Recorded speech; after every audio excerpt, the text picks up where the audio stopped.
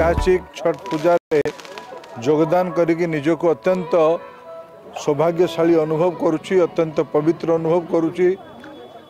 ଛଟ୍ ପୂଜା ଆମର ଭାରତୀୟ ସଂସ୍କୃତିର ଗୋଟିଏ ଅନନ୍ୟ ପ୍ରୟାସ ଅନନ୍ୟ ପରମ୍ପରା।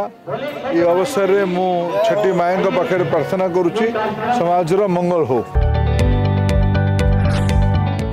जदि आपण को आम भिडी भल लगा तेब आम चेल्क लाइक सेयार और सब्सक्राइब करने को जमा भी बुलां नहीं।